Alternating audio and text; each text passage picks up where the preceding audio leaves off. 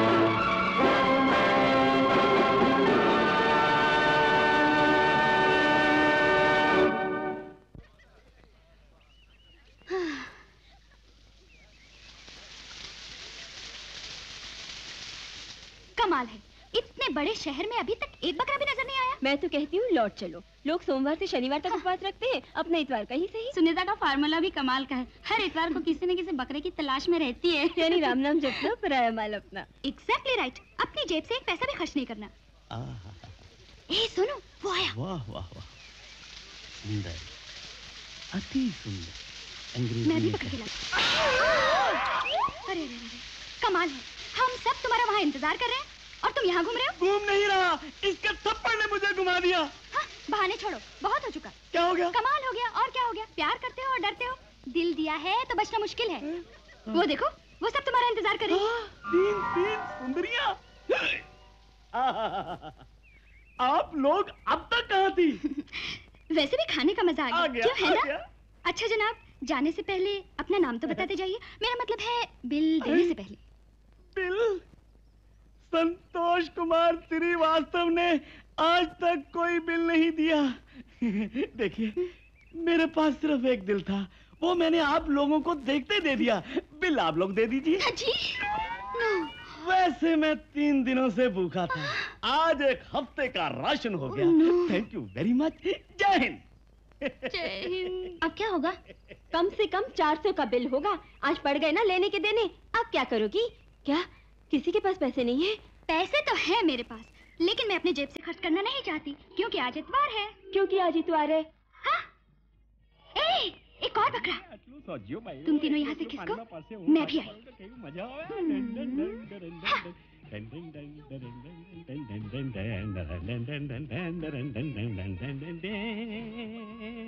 हाँ।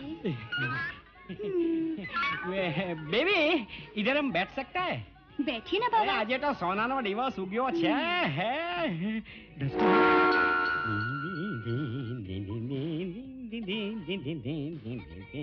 ये बात फिफ्टी फिफ्टी मंजूर क्यों अक्का नहीं चलेगा नहीं अच्छा फिफ्टी फिफ्टी मंजूर लेकिन किसी को कहना नहीं है नहीं कहूंगी निकालो पाँच का छुट्टा निकालता है ना हम्म, जल्दी अरे निकालता है ना इतना जल्दी क्या है बेबी ले आओ ना That's right. ले आओ हम्म, देखिए हाँ। मैंने कॉफी पी है आप बिल चुका देंगे? हाँ दे देगा हम। सो स्वीट ऑफ़ यू बेटा! मैडम पाँच रुपया में हाथ लगा रहे हो। देखो तुम साहब से हमारा बिल ले लेना हाँ, ओके? हाँ। मंजूर बाबा? अरे तय मंजूर कीटू मैं मंजूर कीटू Thank सानू मंजूर। बाय बाय डार्लिंग बाय हाथ क्यों रहा है तेरे को क्या तकलीफ़ है? तू भी हिलाने खड़ा खड़ा। आराम को समझे नहीं मेरा हाथ क्यों हिलता है क्या बिल? चार सौ पचास रुपया! पूरा होटल का बिल देके गई है पकड़ो इसको। मंजूर आपको देना पड़ेगा, देना पड़ेगा साहब, आपको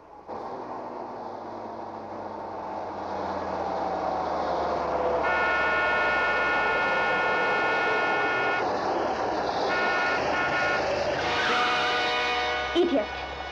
Bloody fool.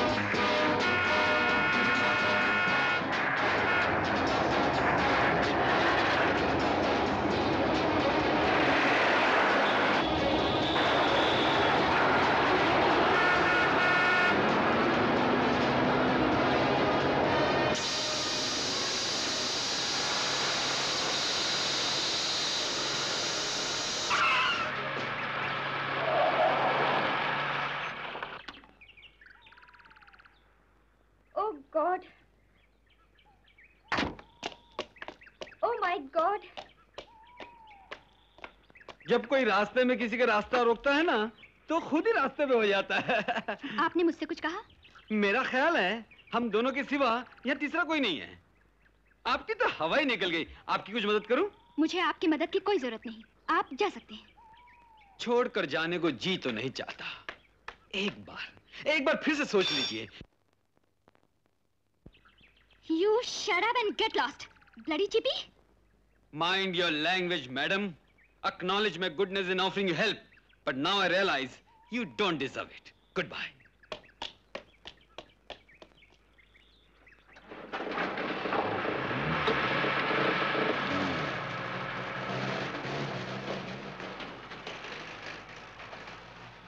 अरे सुनीता जी आप कामर क्या गाड़ी पंचर हो गई है मेरी चिंता मत कीजिए इंस्पेक्टर साहब वो देखिए क्या वो हुआ उस ट्रक को वो ट्रक जो हाईवे पे जा रहा है ना उस पे स्मगलिंग का सामान है इंस्पेक्टर साहब। ये क्या कह रही हैं आप? आप कैसे जानती हैं?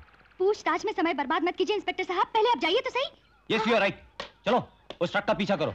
अरे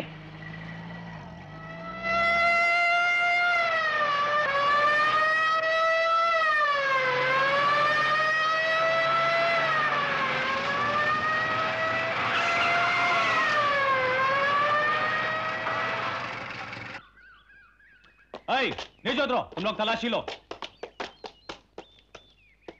क्या बात है इंस्पेक्टर साहब? मेरे पास सब कुछ है। पास ये देखिए परमिट सामान का बिल। क्या सामान है? आश्रम के पुराने कपड़े हैं और, और बिस्किट। बिस्कुट? खाने के नहीं सोने के बिस्कुट हैं। अच्छा तो ये आपके कपड़े हैं। मैं सच कहता हूँ इंस्पेक्टर साहब। मेरे साथ धोखा हुआ है। मुझे इसके बारे में कुछ नहीं मालूम। लेकिन जिस लड़की ने तुम्हारे बारे में खबर दी है, वो तुम्हारे बारे में सब कुछ जानती है। चलो, पकड़ लो इसे।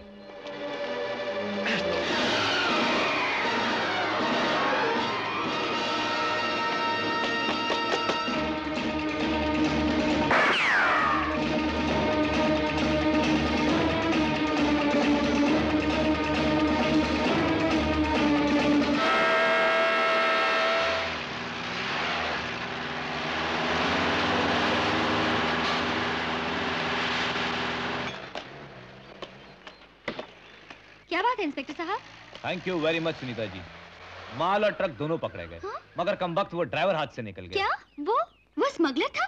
बिल्कुल। मैंने तो यूँ ही मज़ाक के लिए कह दिया था। ओह, आपके डैडी अक्सर आपका ज़िक्र किया करते हैं। कि आप कभी कभी लोगों से इस कदर मज़ाक कर देती हैं कि बस? एनीवे anyway, आपका मज़ाक आज पुलिस के बहुत काम आया। Thank you for your information मैं खुश हूँ इंस्पेक्टर साहब कि मैं आपके काम आ सकी। थैंक यू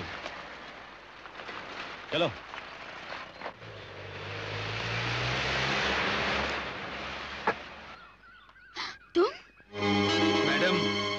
ये मज़ाक बहुत भारी पड़ेगा। यू स्मगलर अभी बुलाती हूँ पुलिस को।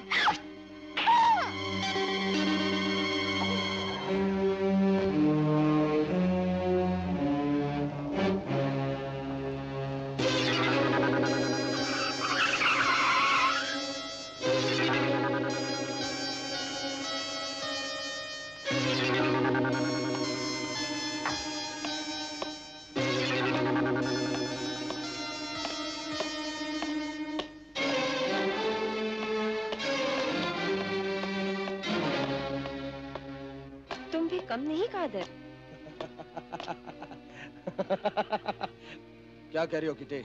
हमारे धंधे में ना तो कोई दोस्त होता है और ना कोई भाई। आनंद एक शरीफ बेवकूफ़ है जो दोस्ती में हमारा काम कर रहा है। वाकई जवाब नहीं। तुम यहाँ? ट्रक कहाँ है। तुम्हारा ट्रक और माल सही सलामत है। पुलिस स्टेशन जाओ। वो लोग तुम्हारा इंतज़ार कर रहे हैं। आनंद ये क्या दिखा रहे हो दोस्त? अनजाने में तुम्हारी बहुत सेवा कर चुका हूँ। गले मिलने की बजाय, पिस्तौल दिखा रहे हो? कमीने, आज तेरी वजह से पुलिस मेरा पीछा कर रही है। मैंने तुझ पर भरोसा किया, तेरी दोस्ती पर भरोसा किया। लेकिन तुझ जैसा कमीना आदमी दोस्ती का नहीं, इसका हकदार है।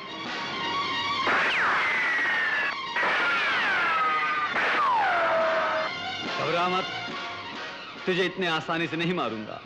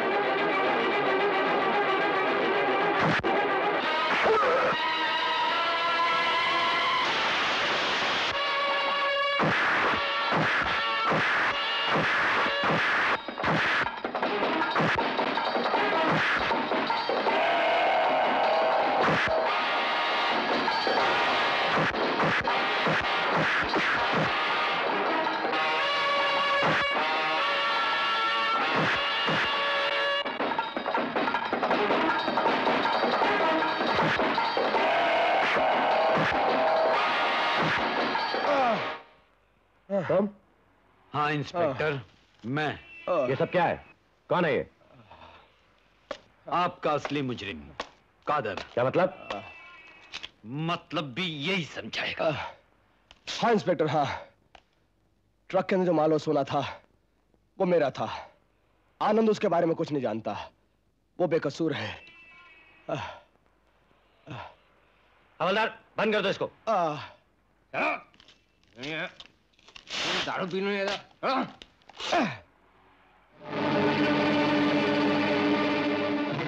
आनंद? इस मेहरबानी का बहुत बहुत शुक्रिया। लेकिन एक बात कान खोलकर अच्छी तरह से सुन लो। जिस दिन मैं इन सलाखों से बाहर आऊँगा तुमसे मिलने ज़रूर आऊँगा। Hi uncle. Hi mom. क्या हाय हाय लगा रखी है? शर्म नहीं आती? कितनी देर से परेशान कर रखा है सब लोगों को? वो तो मैं देख ही रही हूँ। मेरी चिंता में मेरे अंकल सारी उंगलियों के नाखून चबा रहे हैं। Hi baby. अंकल आपने तो मुझे डरा ही दिया था। अरे तुम इसी बात का शुक्र करो कि नींद में नहीं है जाग रहे हैं। आपका मतलब? मतलब साफ़ है तुम नींद में चलते हो। कई बार रात में ये अस्थि का फंदा घुमाते घुमाते तुम चलते रहते हो। अच्छा मैं चलता हूँ भाई। अरे भाई खाना तो खा के जाओ हाँ अंकल खाना खा के जाइए प्लीज़ मेम साहब आपका इंतज़ार करते करते पेट भर चुका है और मेरा एक ज़रूरी अपॉइंटमेंट है समझिए आप क्या बात है? अभी तक अपॉइंटमेंट्स जारी है हज़रत की। हाय आप भी इस उम्र में मज़ाक करते रहते हैं। मुझे देर हो रही है। ओ डैडी बस बस। बहुत हो चुका लाड प्यार। आज मैं बहुत गुस्से में हूँ। क्यों मिस्टर सॉलिसिटर? सोनलाल जी मैं आपका सॉलिसिटर हूँ। टेम्परेचर देखने वाला डॉक्टर नहीं हूँ। हाँ। मैं खाना लगवाता हूँ। आप क्यों नहीं हँसी आप जो नाराज़ हैं। अरे बेटे तुम सामने आती हो तो सारा गुस्सा रफू चक्कर हो जाता आई लव यू डैडी अरे कहाँ भाग रही हो? आ रही हूँ। बेटे जल्दी कपड़े बदल के नीचे आओ। जब तक तुम टेबल पे नहीं आती कोई खाना नहीं आई। तंबू में है तंबू बम्बू में। हम तो तंबू में बम्बू लगाए बैठे। हम तो तंबू में बम्बू लगाए बैठे। हम तो तंबू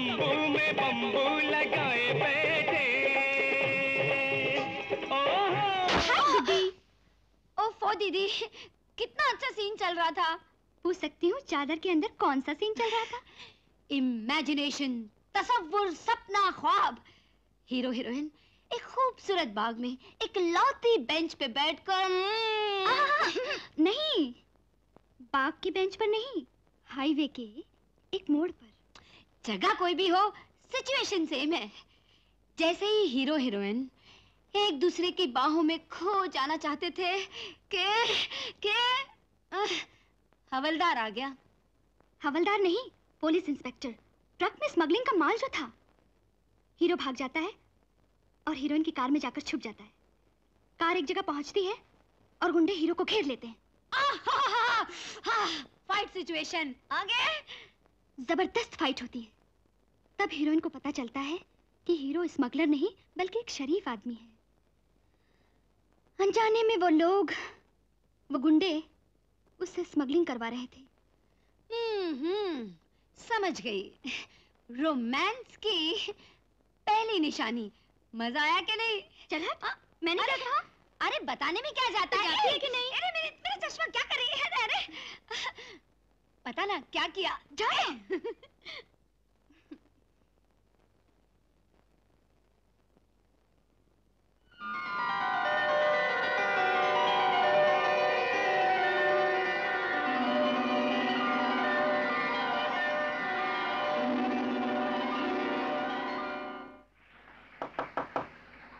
कौन अरे रे रे रे कितना ठोकरा दरवाज़ा अबे ठहर नहाने भी नहीं देते मालूम नहीं कौन है कौन है बे तुम मेरा मतलब कि नमस्ते नमस्ते आप यहाँ कैसे पहुँच गई रात आप अपना पर्स मेरी गाड़ी में भूल गए और पर्स में था आपका ड्राइविंग लाइसेंस। और लाइसेंस पर होता है ड्राइवर का पता। इसीलिए यहाँ तक पहुँचने में कोई तकलीफ़ नहीं हुई। लाइसेंस? कहाँ है मेरा लाइसेंस? वो तो जब्त हो चुका। जब्त हो चुका? किसने जब्त किया? मैंने। आपने? किस लिए? अपने लिए।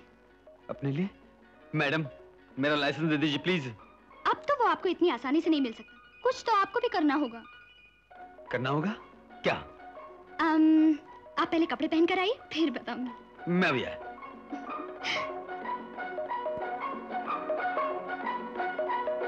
मैडम जी। ओ, मैडम। अपना लाइसेंस चाहिए तो ठीक तीन बजे यूनिवर्सिटी कंपाउंड में मिलो। मैं अपनी कार में तुम्हारा इंतज़ार करूँगी। कार नंबर है D H E nine four three nine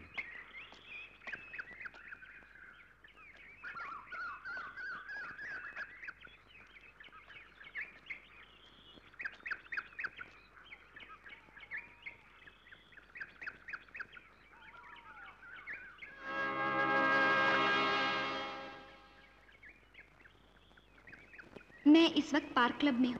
तुम्हारे लिए अपनी कार छोड़े जा रही हूँ। वहाँ आ जाओ।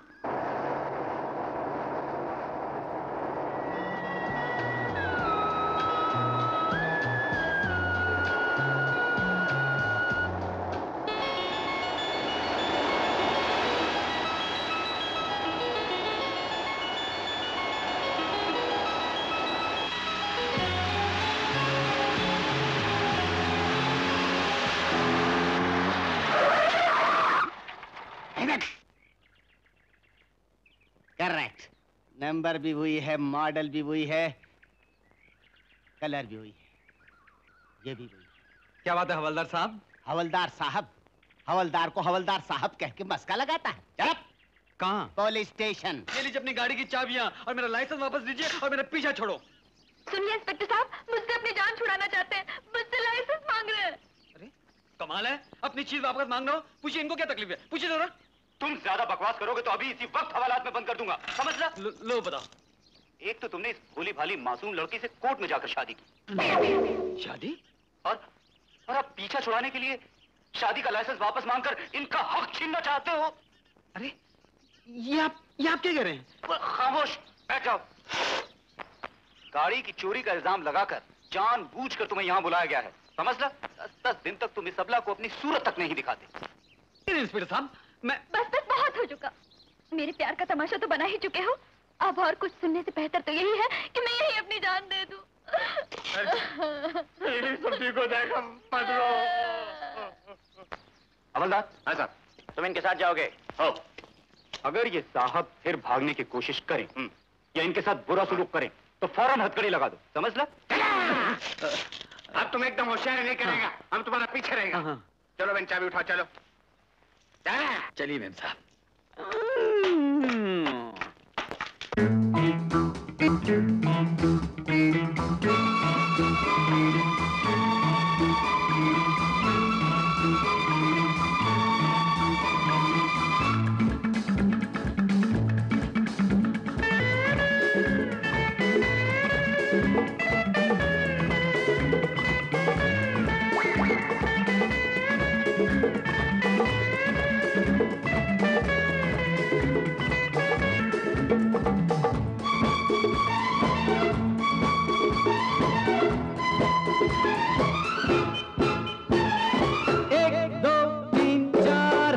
हमसे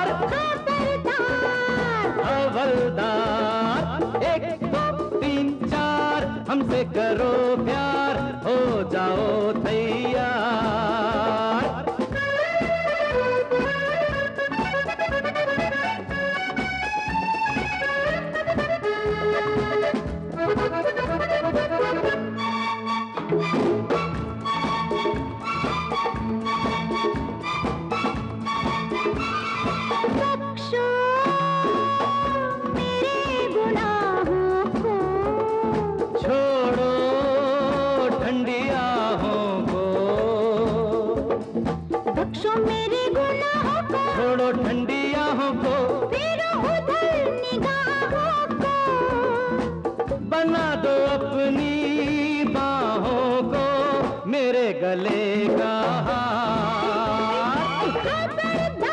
हे हवलदार कोई हमसे करो प्यार हो जाओ तैयार।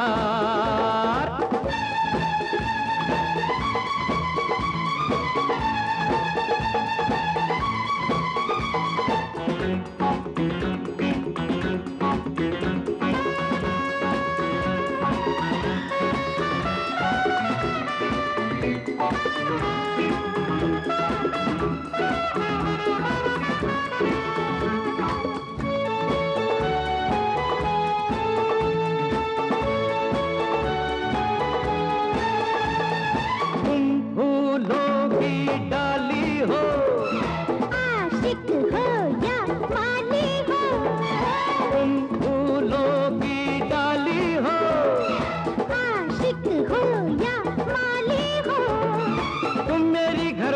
हो।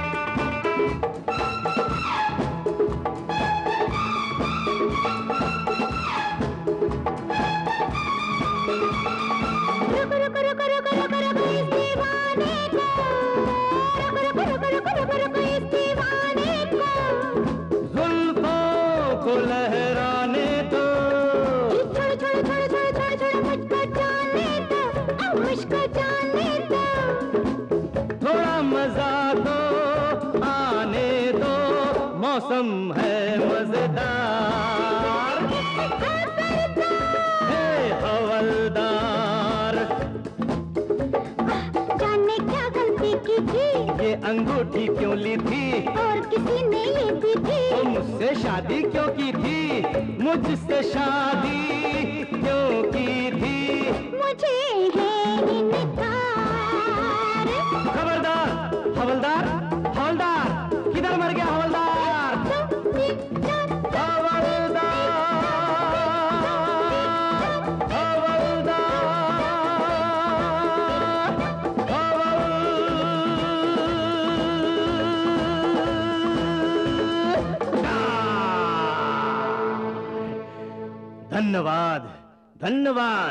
अरे धन्य हो।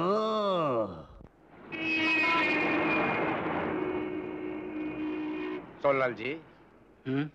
ये आपकी लाडली सुनीता के हफ़्ते भर के खर्चे की स्टेटमेंट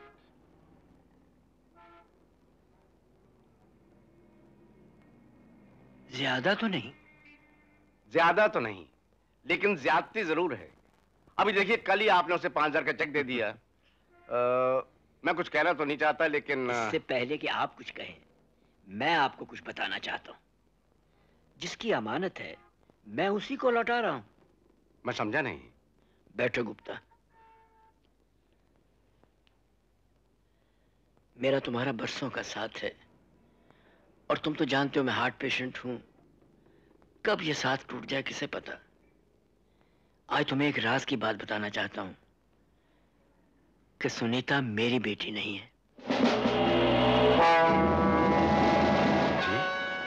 इस शादी से पहले मेरी एक और शादी हुई थी। परसों पहले सेठ दौलत राम की इकलौती बेटी शांति से। वो रात वो मंजर मुझे अब तक याद है। सुहाग की सेज पे बैठी शांति मेरा इंतज़ार कर रही थी।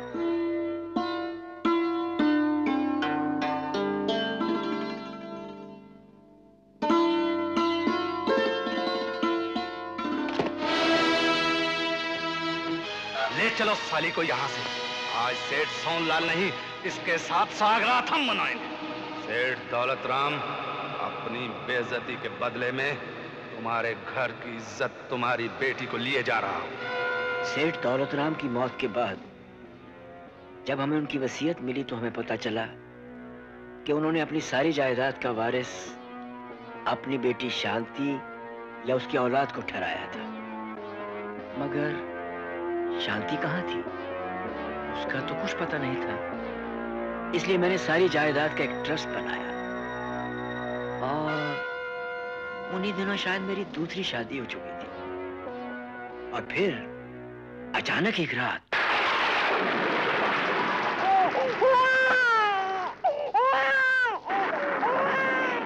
जो गुंडे मुझे सुहाग के सेज पर से उठाकर ले गए थे, उनकी मेरी पिताई से पुरानी दुश्मनी थी। लाखों की रकम वसूल करने पर भी उन गुंडों ने मुझे वापस घर नहीं भेजा।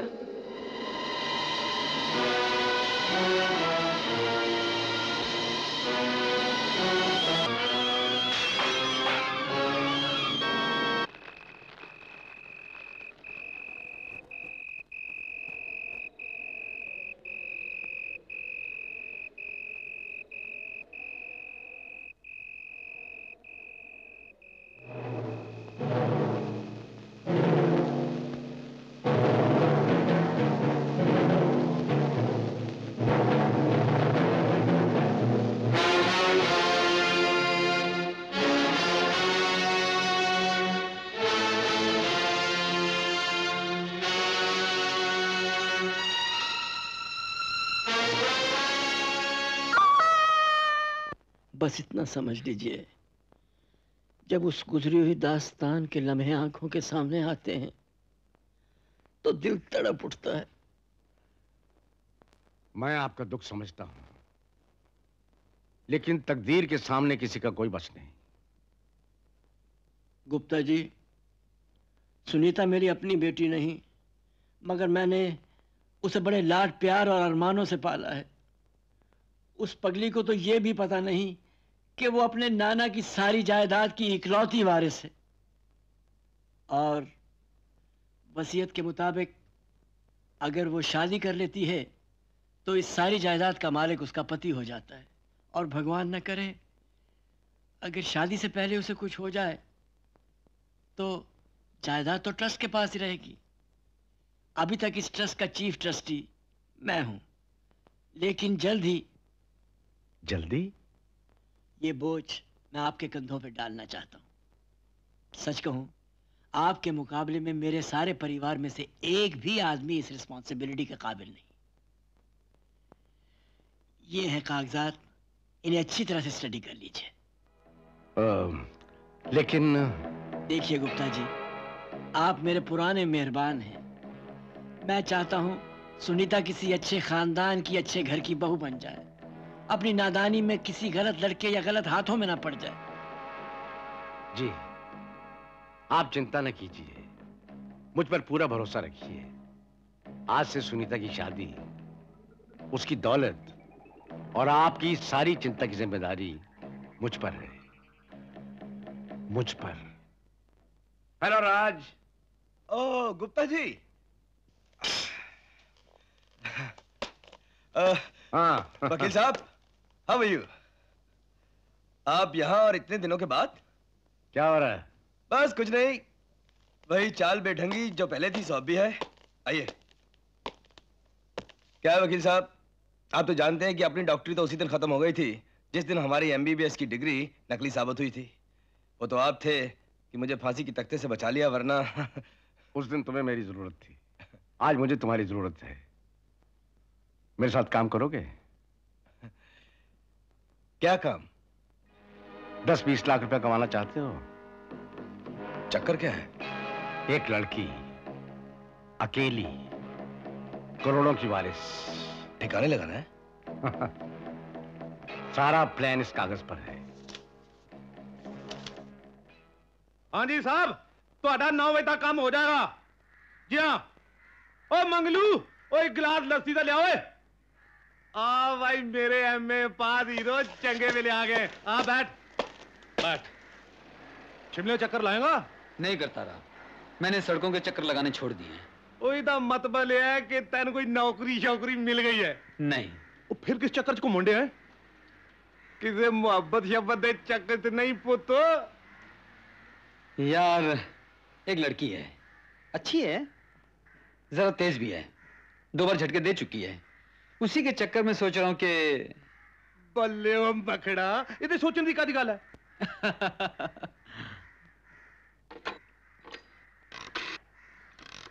साहब लस्सी ओ हीरो लस्सी पिएगा नहीं यार करतारा टाइम क्या हुआ है coming coming coming coming coming coming coming coming hello Sunita ji हैं जी नहीं सुनीता दीदी तो पिकनिक पे गई है नेशनल पार्क आप कौन बोल रहे हैं? अगर आप उनकी छोटी बहन बोल रही हैं तो मैं आपका जीजा जी बोल रहा हूँ।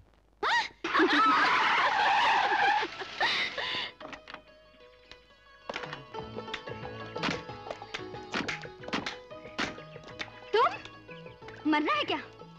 मैं तो उसी दिन मर गया था जिस दिन मेरी तुमसे शादी हुई थी। यस तुमने इस गरीब से नाता जोड़कर भले ही इसका दिल तोड़कर अपनी दौलत की दुनिया में चली आई लेकिन इस दिल का क्या करूँ जो तुम्हारे बार बार मना करने पे भी तुमसे मिलने चला आया? ये सब क्या कर रहे हो? मेरी तो कुछ समझ में नहीं आ रहा। लेकिन हमारी समझ में आ गया। सुनीता तुमने ये अच्छा नहीं किया। ज़िंदगी में जीवन साथी सिर्फ़ एक ही बार बनाया जाता है। तुमने प्यार किया और शादी भी कर ली। शट अप क्या बकती हो? ये फरेबी है धोखेबाज है। ही इज़ अ फ्रॉड हाँ जानबूझकर मेरे गले पड़ रहा है। आई स्वेयर यार इससे मेरी कोई शादी नहीं हुई। अच्छा तो ये बात है? हाँ मैं तो इसे जानती तक नहीं। इसका मतलब है दौलत की चमक दमक में इस गरीब का प्यार खो गया। सुनीता क्या तुम्हें कुछ भी याद नहीं? हाँ हाँ मुझे कुछ भी याद नहीं। लेकिन मुझे अपने उस प्यार के सिवा और कुछ भी याद नहीं। तो फिर अपनी याद की समाधि लगाकर यही माला जपते रहो। सुनीता।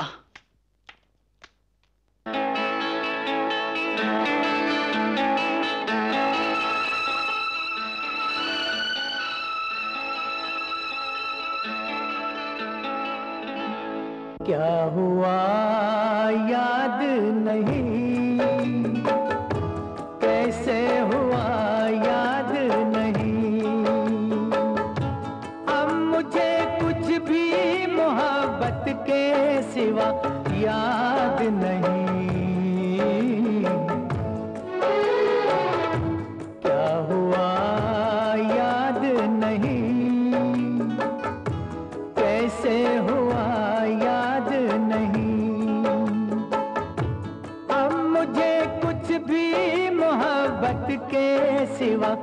याद नहीं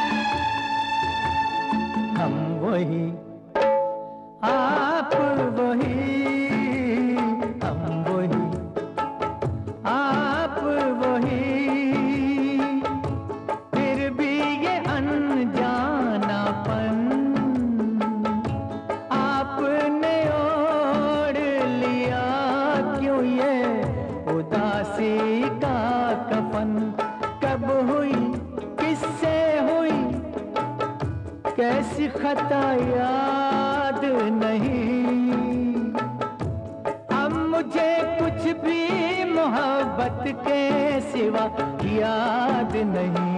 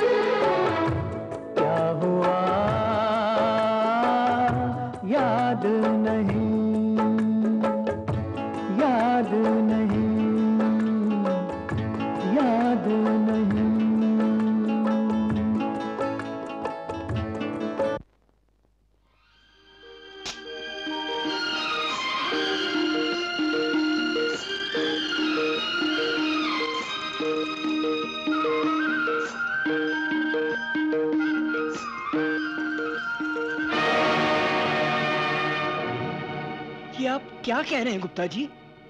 मैं वही कह रहा हूँ जो मैंने अपनी आँखों से देखा है। मैंने वादा किया था कि सुनीता की सारी ज़िम्मेदारी मुझ पर है। इसलिए आपको बताने चला है। वो एक मामूली ट्रक ड्राइवर की मोहब्बत के जाल में फंस गई है। ये नहीं हो सकता गुप्ता जी इट्स इम्पॉसिबल ये नहीं होगा। आप सही कह रहे हैं। ऐसा नहीं होना चाहिए था। लेकिन ऐसा हो गया है। आप तो जानते हैं।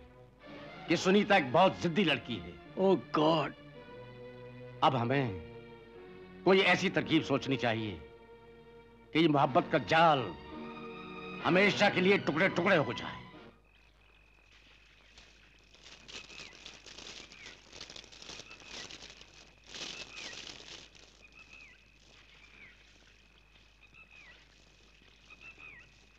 वो सामने ठहरा हुआ पानी देख रही हो? मेरी ज़िंदगी भी ऐसी थी। जानती हो ये क्या है? ये तुम हो। ये मैं हूँ? इतनी छोटी सी कंकरी। इस छोटी सी कंकरी ने देखो मेरी ज़िंदगी में कैसी हलचल पैदा कर दी है। कहीं ऐसा ना हो कि कुछ नहीं होगा मुझे मालूम है। देखो सुनीता। अब तुम फिर हमेशा की तरह वही भाषण शुरू कर दोगे। मैं अमीर हूँ और तुम एक गरीब ट्रक ड्राइवर हो। मैं आसमान हूँ और तुम ज़मीन हो। लेकिन हमारी मोहब्बत कभी नहीं मिटेगी। रहा तुम्हारे डर का सवाल तो उसका भी बंदोबस्त कर दिया है मैंने। कल शाम हमारे यहाँ एक बहुत बड़ी पार्टी है। मैं कल सबके सामने तुम्हें अपने पापा से मिलाना चाहती हूँ। अमीरों की महफिल में मुझ जैसा मामूली इंसान मखमल में टाट का धब्बा लगेगा। डैडी हाँ बेटे। कमाल है डैडी। आज आपकी सालगिरह है और आपने अभी तक ड्रिंक भी नहीं ली। जी देवी जी मेरी सालगिरह ज़रूर है मगर मैं आज जुर्माना देने के मूड में नहीं हूँ। ओ डैडी। ओ डैडी। आज आपके लिए खुली छुट्टी है। हाँ। शुक्रिया शुक्रिया। देवी जी वो आपके मेहमान तशरीफ़ लाने वाले थे वो क्या हुआ? हाँ? बस अभी आते ही होंगे। वो कौन है? कहीं वो तो नहीं? मैं अभी बुला के लाती हूँ। आओ आनंद मैं तुम्हें अपने डैडी से मिला दूँ। डैडी डैडी अच्छा। यही है वो। हाँ। बड़ी खुशी हुई आपसे मिलके। नाइस मीटिंग सर आप क्या करते क्या हैं? डैडी मैंने कहा था ना ये वो। ओ यस यस यस याद आ गया मुझे। चलिए आपको अपने खास मेहमानों से मिलवाता हूँ। आप जैसी हस्ती से कहाँ मिले होंगे मेरे दोस्त? आइए। अटेंशन लेडीज़ एंड जेंटलमैन आज इस खुशी के मौके पे मैं आप लोगों को गाना सुनवाने की बजाय एक जोक सुनाता हूँ। पेशे से आप ट्रक ड्राइवर और आज की हमारी इस महफिल में बिन बुलाए इसलिए तशरीफ़ लाए हैं क्योंकि ये मेरी लड़की सुनीता से शादी करना चाहती है।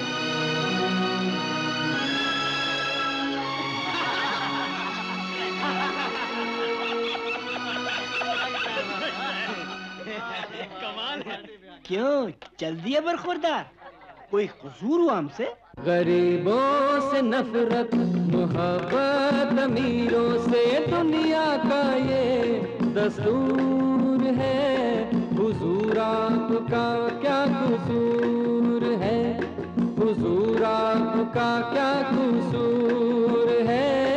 गरीबों से नफरत, मोहब्बत, अमीरों से दुनिया का ये दस्तूर है। हुजूर आपका क्या कसूर है? हुजूर आपका क्या कसूर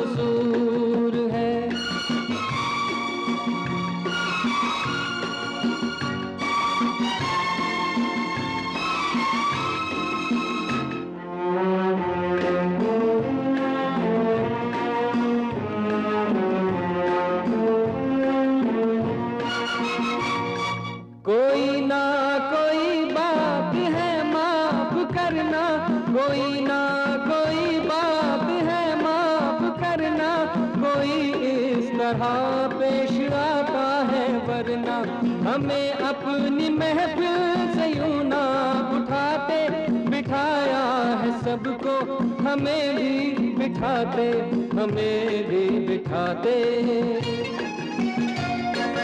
हम में कमी कुछ ज़रूर है। हुजूर आपका क्या कसूर है? हुजूर आपका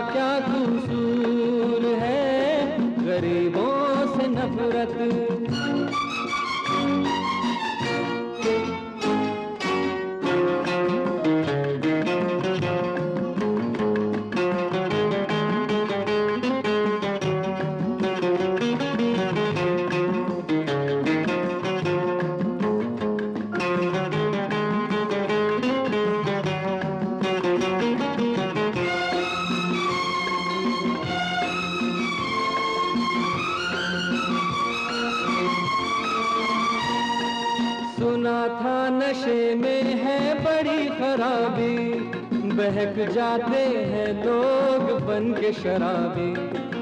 सुना था नशे में है बड़ी खराबी। बहक जाते हैं लोग बन के शराबी। तुम्हें आज देखा तो हमने ये जाना। दौलत में कितना सुरूर है। हुजूर आपका क्या कसूर है? हुजूर आपका क्या कसूर गरीबों से नफरत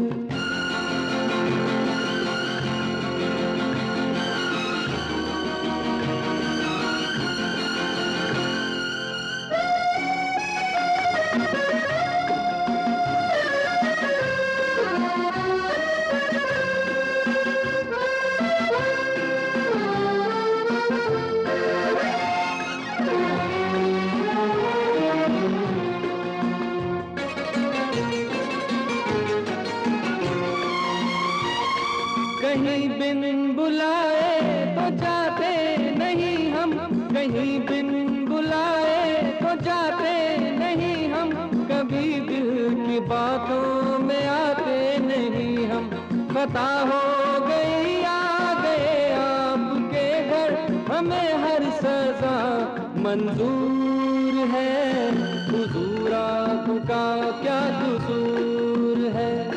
हुजूर आपका क्या कसूर है? गरीबों से नफरत, मोहब्बत, अमीरों से दुनिया का ये दस्तूर है। हुजूर आपका क्या कसूर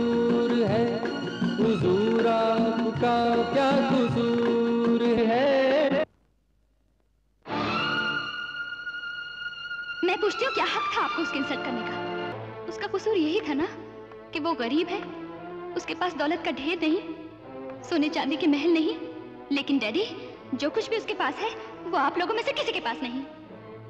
वो प्यार, वो मोहब्बत। सिर्फ़ मोहब्बत के सहारे ज़िंदगी नहीं गुजारी जा सकती, सुनीता, और ना ही प्यार से किसी इंसान का पेट भरता।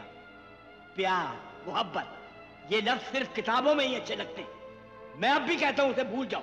अगर मैं ये कहूँ कि मैं भूल नहीं सकती तो? देखो सुनीता मैंने आज तक तुम्हारी हर जिद के सामने अपना सर झुकाया मगर अब तुम एक दो कौड़ी के आदमी के लिए मेरी इज़्ज़त का तमाशा बनाकर सारी दुनिया के सामने मेरी गर्दन झुकाना चाहते हो ये मुझसे बर्दाश्त नहीं होगा। ठीक है। कहाँ जा रही हो तुम? मैं अपने प्यार को धोखा नहीं दे सकती। न ही आपकी इज़्ज़त को तमाशा बनाना चाहती। हूँ इसीलिए बेहतर यही है कि मैं आपकी आँखों से दूर हो जाऊँ। सुनीता! डैडी आप अपना फैसला नहीं बदल सकते और मैं अपना इरादा नहीं बदल सकती।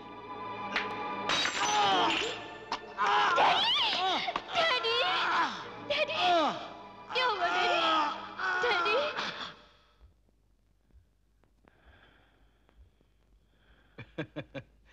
Nothing nothing at all मुझे तो गुप्ता जी ने डरा ही दिया था। क्या मतलब मुझे? आपको कुछ नहीं हुआ है आपको सिर्फ़ थोड़ा सा वहम है। जिसका ना तो कोई इलाज है और ना ही कोई डॉक्टर। ओह पापा। पापा बिल्कुल ठीक है ना डॉक्टर साहब? बिल्कुल ठीक है ये तो नहीं कहा जा सकता। लेकिन लेकिन क्या डॉक्टर? देखिए सेठ जी अगर मैं इन सब के सामने आपको कुछ कहूँगा तो आपको भी इन सब के सामने मेरी एक बात माननी होगी। प्रॉमिस कीजिए। गुप्ता जी ने आपके बारे में जो कुछ कहा सब सच है। आप वाकई बहुत ज़िंदा थे सेठ जी। चलिए मैं प्रॉमिस करता हूँ जो आप सब लोग कहेंगे मैं मान लूँगा। तो आपको फ़ौरन से पेशतर कुछ दिनों के लिए विदेश चला जाना चाहिए। वो जो मैंने आपसे छोटे से वहम का ज़िक्र किया था कहीं आगे जाकर बहुत बड़ा खतरा ना बन जाए इसलिए आपको आबो हवा बदलनी बहुत ज़रूरी है। इसी में आपकी और हम सब की भलाई है। क्यों?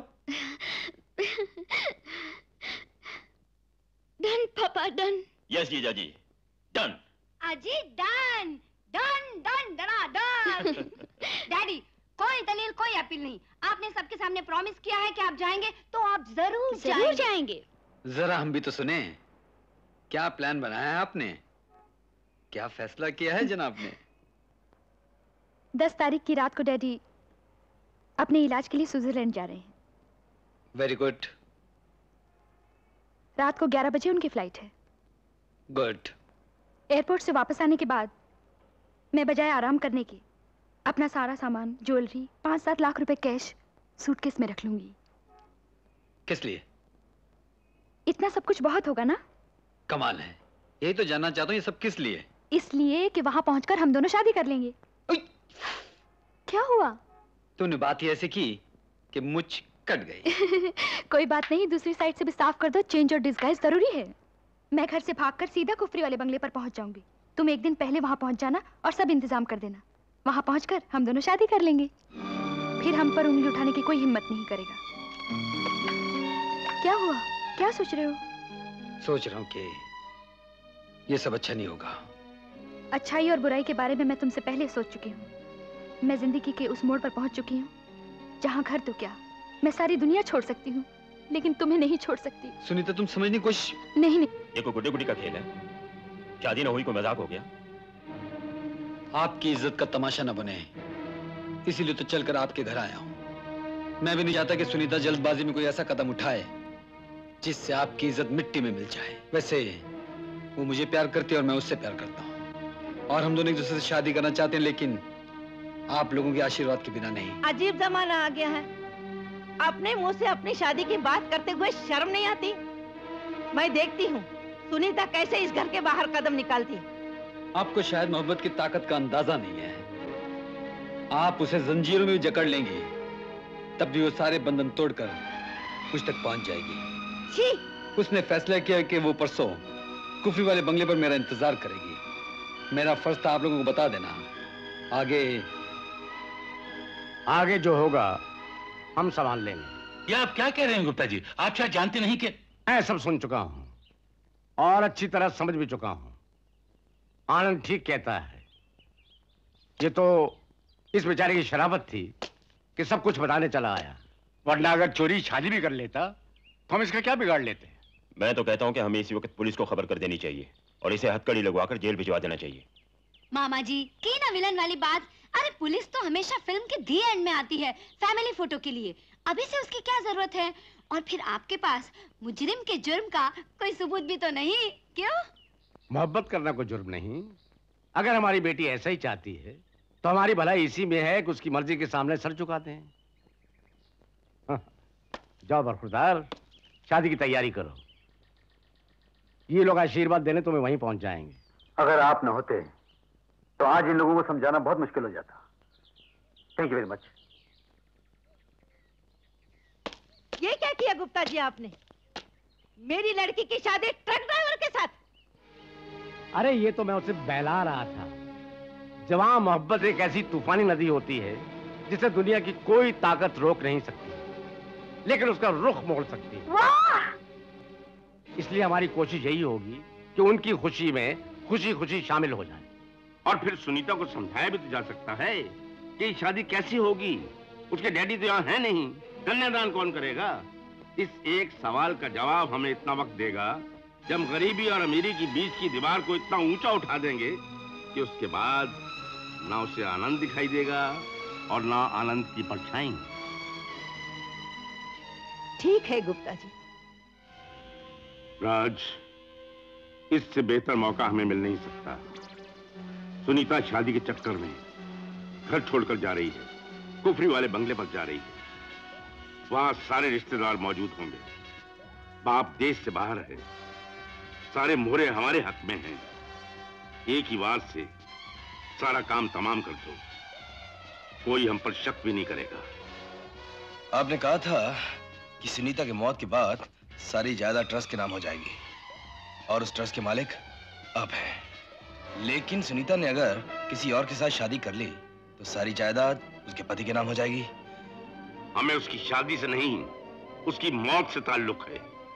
करेक्ट पार्टनर हमें उसे इतना मौका नहीं देना चाहिए कि वो शादी कर सके और उसका कोई पति हो। बिल्कुल ठीक। राइट कल दस बजे सुनीता कुफरी के लिए रवाना हो रही है। राज तुम्हें देखना है कि वो कुफरी तक पहुँचने न पाए।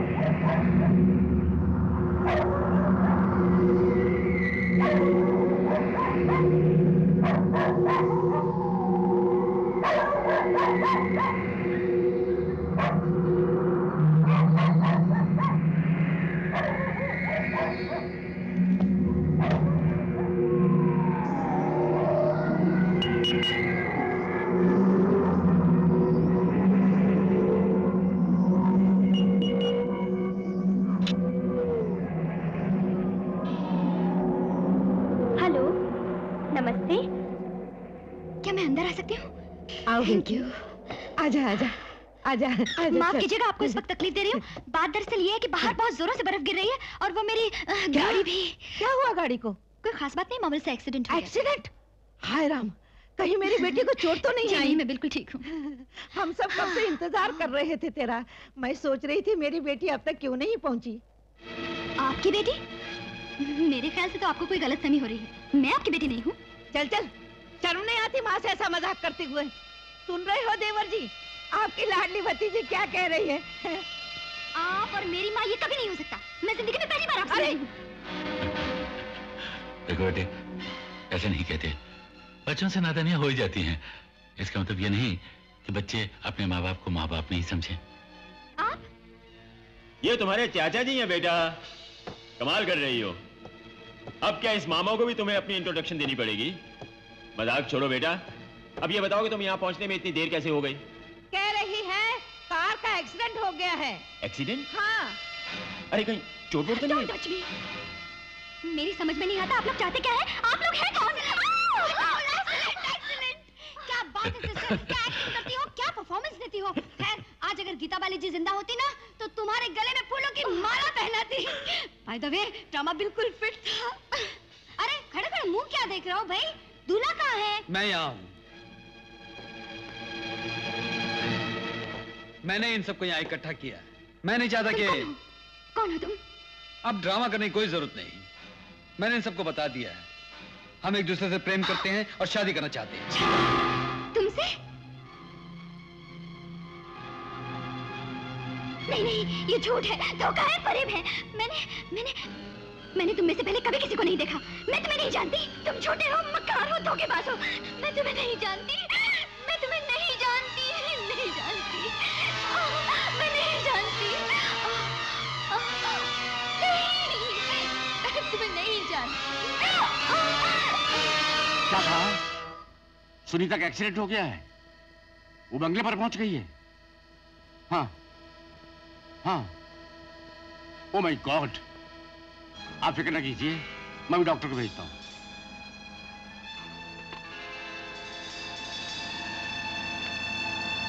हाय पार्टनर काम हो गया? डैम इट तुम्हें सुनीता को ठिकाने लगाने के लिए कहा था। हाँ? लेकिन वो तो वो तो क्या? बच गई। वो बच गई? लेकिन वो है कहाँ? कुफरी वाले बंगले पर। एक्सीडेंट से तो बच गई। लेकिन किसी को पहचान नहीं रही है। बैकी बैकी बातें कर रही है।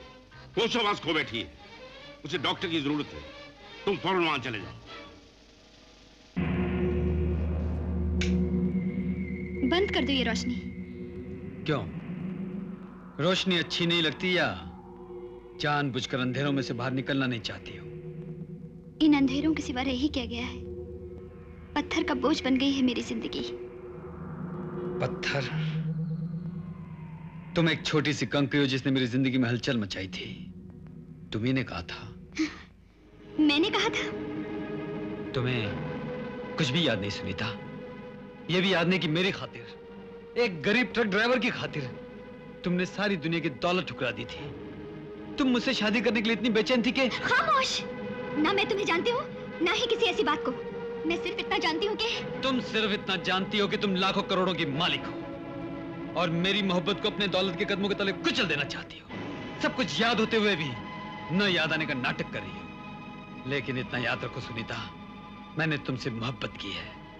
और मैं अपना प्यार हासिल करके रहूँगा। समझी?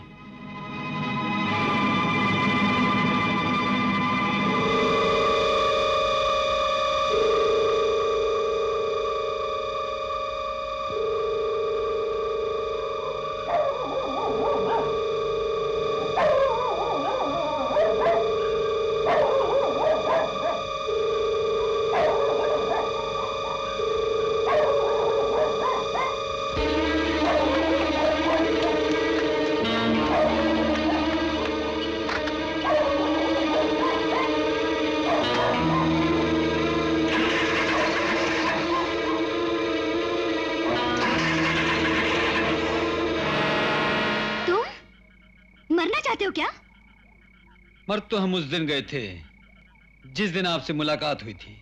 उस मौत के बाद ज़िंदगी उस दिन मिली है जब हमारी शादी तय हुई थी। बस अब आपको पाना बाकी रह गया है। हम्म, क्या बकवास कर रहे हो? मेरी तो कुछ समझ में नहीं आ रहा। जो आपकी समझ में नहीं आ रहा वही तो मैं समझाना चाहता हूँ। क्या हुआ याद नहीं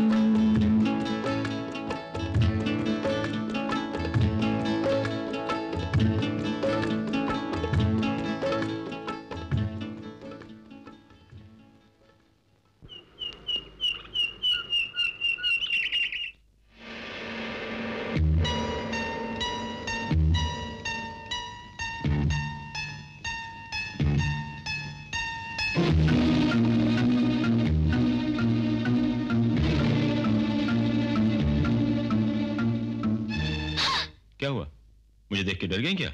हुँ? हम्म? अरे पगली मैं तो ये पूछने आया था कि रात को नींद तो ठीक से आई ना।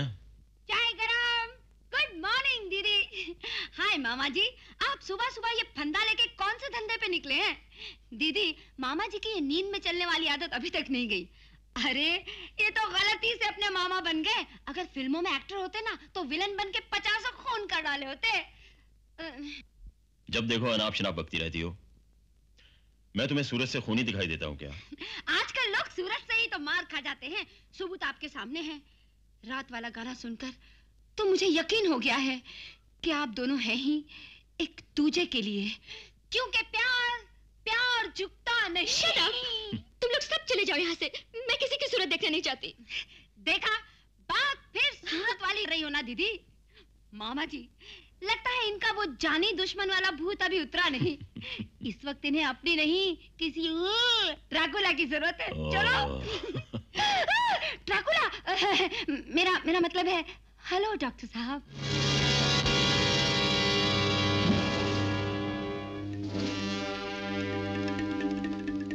कौन हो तुम? यही तो मैं जानना चाहता हूँ। तुम कौन हो? क्या चाहते हो? यही तो मैं पूछना चाहता हूँ। तुम क्या चाहती हो? ये क्या कर रहे हो? नहीं नहीं नहीं। खबरदार खबरदार मेरे नज़दीक आने की कोशिश मत करना। एक कदम भी आगे बढ़ाया तो तो अच्छा नहीं होगा। हाँ। बेबी ये कदम तो तभी रुकेंगे जब ये मामला सुलझ जाएगा। नहीं छोड़ दो मुझे। इस लड़की का ख्याल अच्छी तरह से रखा जाए। थोड़ी देर में लड़की होश में आ जाएगी। याद रखो एक बार लड़की हाथ से चली गई तो दोबारा हाथ नहीं आएगी। किसी भी हालत में इस लड़की उस बंगले के बाहर जाने नहीं देना चाहिए। ओके डॉक्टर गुड नाइट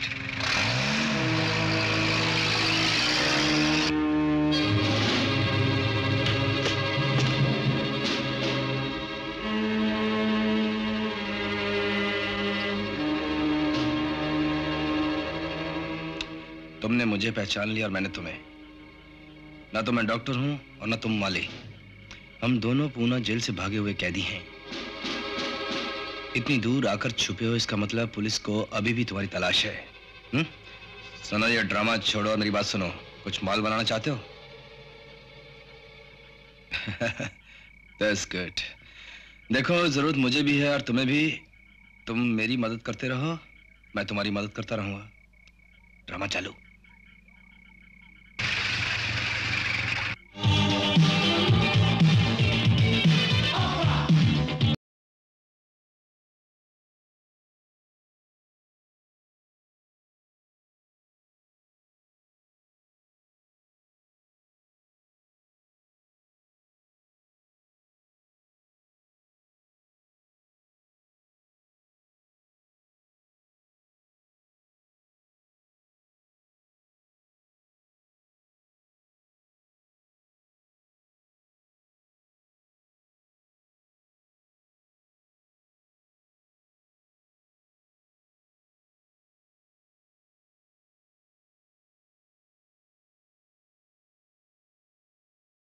देर से तुम्हारा इंतज़ार कर रहा था। पार्टनर तुम तो जानते हो बहुत दूर से आ रहा हूँ। शतरंज बिछा दी गई है मोरे सेट कर दिए गए हैं और खेल भी शुरू हो गया है। हर चाल अपने प्लान के मुताबिक चली जा रही है ना? बिल्कुल। एक खुशखबरी और भी है। हाँ। लड़की अपनी यादाश्त खो बैठी है। हाँ। इससे हमारी मुश्किलें और भी आसान हो जाएँगी। हाँ। किसी को नहीं पहचानती किसी के बारे में कुछ याद नहीं है उसको। थोड़ी बहुत यादाश्त की लकीर जो बची है उसे मैं मिटा दूँगा गुड वेरी गुड अच्छा अब हमारी मुलाकात वहीं होगी। इतनी जल्दी भी क्या पार्टनर एक जाम हो जाए उस बदकिस्मत लड़की के नाम जो हमारी तकदीर बनने जा रही है हाँ? क्या मैं अंदर आ सकती हूँ? अरे मैं तो अंदर आ गई। क्या मैं तुम्हारे नज़दीक बैठ सकती हूँ? कमाल है। मैं तो तुम्हारे नज़दीक ही बैठी हूँ। ताली दे ताली दे, दे। अच्छा एक बात बताओ। तुम्हारे ये चेहरे पर हमेशा मरहूम मीना कुमारी का शेडो क्यों रहता है? मेरा मतलब है जब देखो तब ट्रेजेडी क्वीन बनी बैठी रहती हो। अरे कभी तो हंसो मुस्कुराओ यार। परेशान मत करो मुझे प्लीज़ ये लो। हम भी कभी किसी को परेशान करते हैं यार। ये बात हमने पहली बार सुनी है मैडम। हम तो शिवा के इंसाफ की पार्वती बन के आए थे वो भी थ्री डी में। ये लो मूंगफली खाओगी हाँ। सुनो तुम सचमुच मुझे खुश देखना चाहती हो ना? तो मेरा एक काम करोगी? क्या? किसी भी तरह मुझे यहाँ से आज़ाद करा दो प्लीज़ देखो नहीं तो मेरा दम घुट जाएगा। अरे यार तुम पहले तो इतनी बुजदिल कभी नहीं थी। चक्कर क्या है? चक्कर ये है कि मैं वो नहीं जो तुम लोग मुझे समझ रहे हो। यानी कि तुम वो नहीं हो। तो वो कौन थी? वो कौन है? वो कौन होगी? अरे रे रे क्या सस्पेंस फ़िल्मों के नाम याद आ रहे हैं यार? काश काश इस वक्त मेरे पास कोई कहानी होती। मेरी कहानी सुनोगी? क्या? बीस साल बाद और गुमनाम से भी ज़्यादा बड़ा सस्पेंस है तुम्हारी कहानी में ज़रूर सुनेंगे। सुनाओ लेकिन लेकिन यहाँ नहीं। तुम मुझे यहाँ से कहीं बाहर ले चलो आज़ादी में। फिर मैं तुम्हें सब कुछ सुनाऊँगी सब कुछ बताऊँगी। प्लीज़ देखिए यहाँ एक फूल चार कांटे नहीं हज़ार कांटे हैं। मगर निशाना बनने से पहले दिल और दीवार क्रॉस करके हकीकत और फ़र्ज़ के लिए मेरी आवाज़ सुनो और मददगार बनो। तेरे सुपरमैन नहीं तो क्या हुआ? मैं सुपर गर्ल बन के तुम्हें आज़ाद कराऊँगी। लेकिन लेकिन? लेकिन पहले ऐसे सिचुएशन की डायरेक्टरी खोल के देखना पड़ेगा। याद करना पड़ेगा कि ऐसी मुसीबत में कौन से हीरो ने अपनी हीरोइन को बचाने के लिए क्या क्या तरकीबें लड़ाई। एक काम करते हैं अम्मू का फॉर्मूला इस्तेमाल करते हैं। अम्मू? कौन अम्मू? अरे अपना अमिताभ बच्चन यार। कौन सी फ़िल्म थी यार वो? क्या नाम था इसकी? हम्म, हम्म,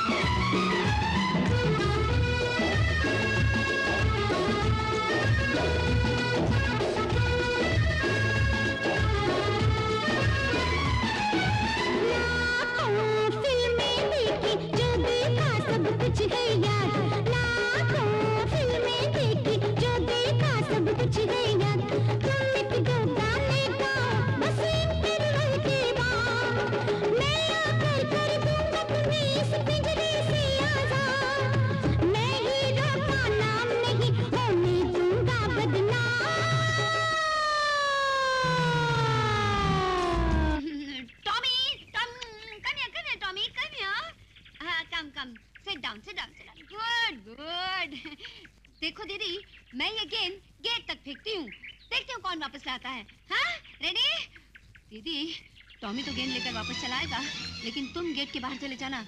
रुकना मत, क्योंकि गेट के बाहर ही तुम्हारी आज़ादी है. रेडी?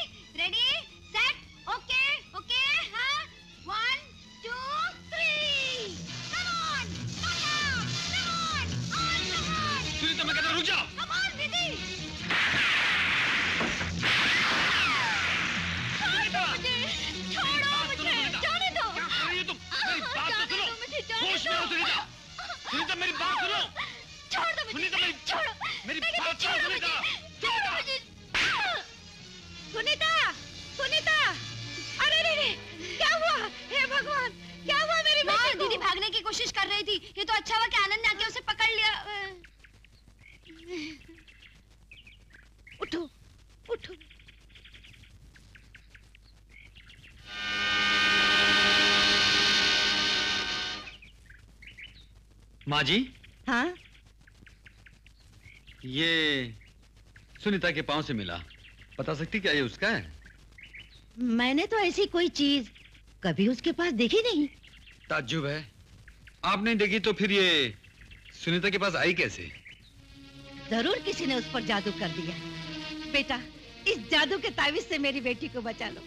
मैं वादा करती हूँ मैं हमेशा के लिए सुनीता को तुम्हारे हवाले कर दूँगी मुझे उसकी ज़िंदगी चाहिए उसकी खुशी चाहिए माँ जी ये कोई जादू का तावीज नहीं बल्कि उस ताले की चाबी है जो सुनीता के बदले हुए तेवर के राज पर से पर्दा उठा सकती है और वो राज मैं जान कर रहूँगा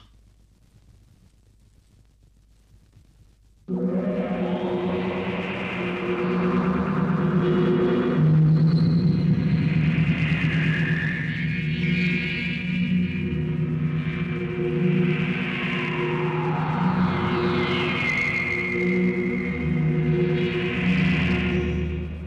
कैसा मूड है आज?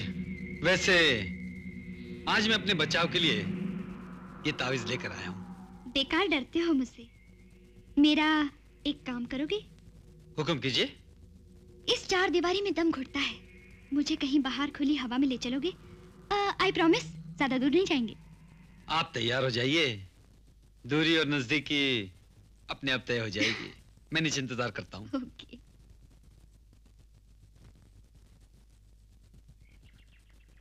ओहो जो आप तलाश कर रही हैं वो वहाँ नहीं है। और जो आप समझ रहे हैं बात वो भी नहीं है। तो फिर आप ये भी बता दीजिए आज इतनी मेहरबानी किस लिए? मैं चाहती हूँ कि आज फैसला हो ही जाए। फैसला? किस बात का? फैसला फासले का दूरी का नजदीकी का। इकरार कर दे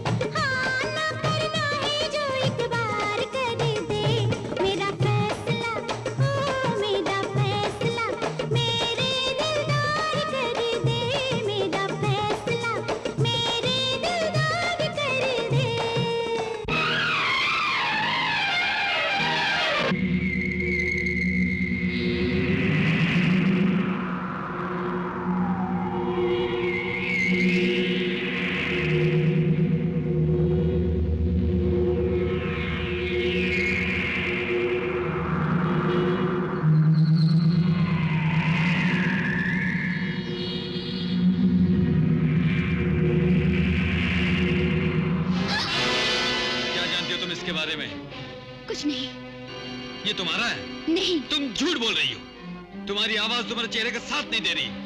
बोलो, इस लॉकेट के पीछे क्या राज है? बोलो, मैं कहता हूँ।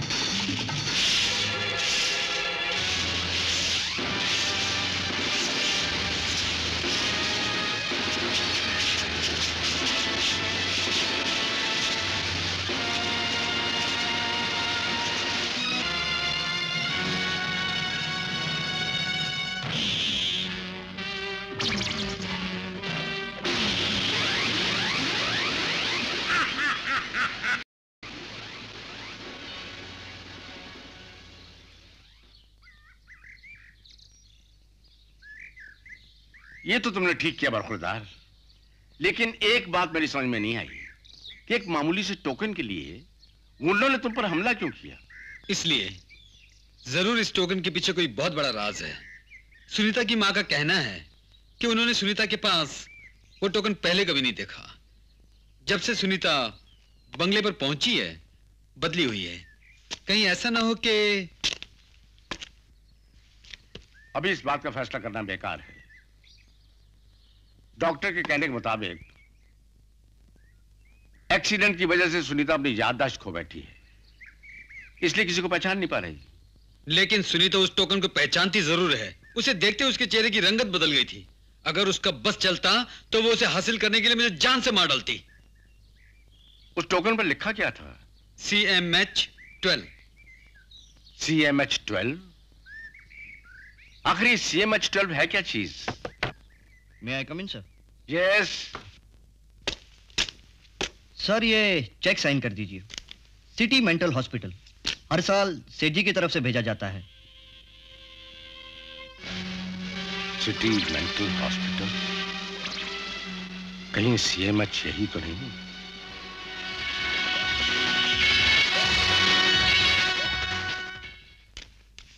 एक्सक्यूज मी यस मैं डॉक्टर बी के शर्मा से मिलना चाहता हूँ। डॉक्टर साहब तो यहाँ नहीं है। डॉक्टर सुमित अपने रूम में है। आप यहाँ बैठकर इंतज़ार कीजिए मैं इतला किए देती हूँ। थैंक यू जी बिल्कुल सही। जी हाँ। जी। यही तो परेशानी की बात है इंस्पेक्टर। क्या आप बता सकती हैं कि पिछले दिनों डॉक्टर शर्मा के बिहेवियर में कोई तब्दीली तो नहीं हुई? जी एक बात तो ज़रूर थी। जब से टोकन नंबर बारह का मरीज़ इस हॉस्पिटल से गायब हुआ तब से वो बेहद परेशान रहते थे क्योंकि वो मरीज़ उनकी बेटी थी। और कोई खास बात? जी याद आया। उनके गायब होने से एक दो दिन पहले एक शख्स टोकन नंबर बारह वाले मरीज़ के बारे में पूछने आया था।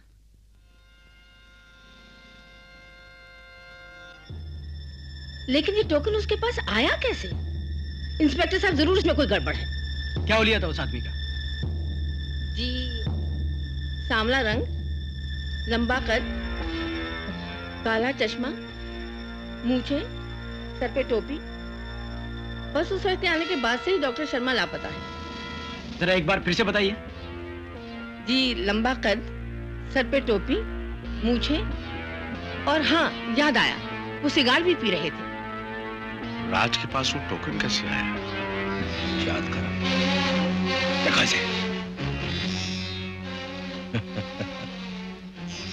क्यों अपनी जान देने पर तुले हो डॉक्टर? अपना नहीं तो अपनी बेटी का ख्याल करो। जालिमो तुमने कहीं मेरी बच्ची पर जुल्म तो नहीं किया? अभी तक तो नहीं। लेकिन अगर मजबूर करोगे तो। डॉक्टर? ये बारह नंबर टोकन किसका है, हमें बता दो। ये बारह नंबर टोकन परसों पहले मैंने एक मासूम बच्चे के पैर में डाला था। जिसे उसकी माँ बड़ी बरसात मेरे हॉस्पिटल में छोड़कर न जाने कहाँ चली गई थी। उसके थोड़ी ही देर बाद शहर के मशहूर रही सेठ सोहनलाल उस औरत के पीछे मेरे पास आए थे। उनके पास उसी की तरह एक हम शक्ल बच्ची थी।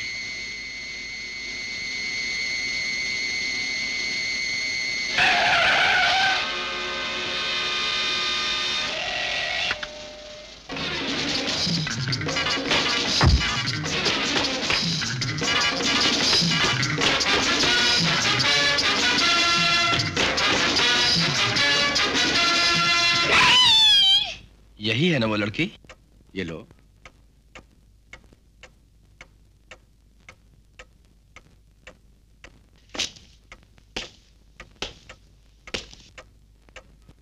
ये रही मेरी खुशखबरी।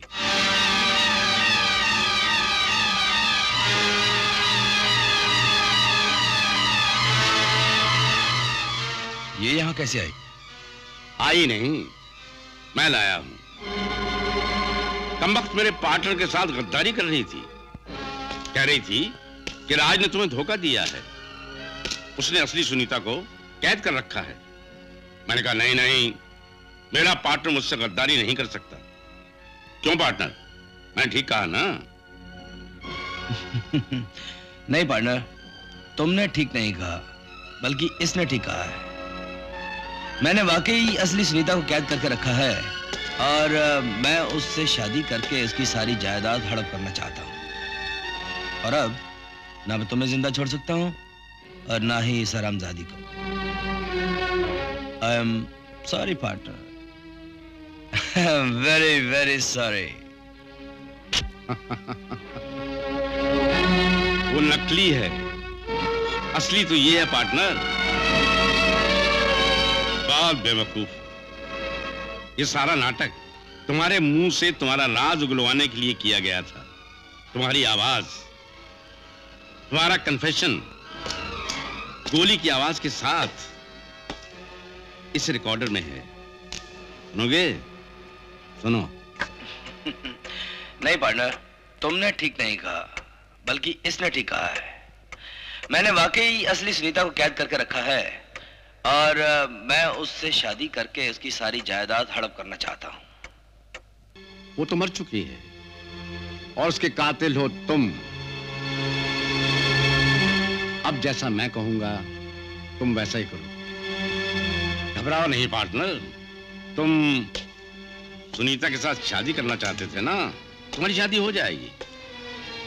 आ, ये रही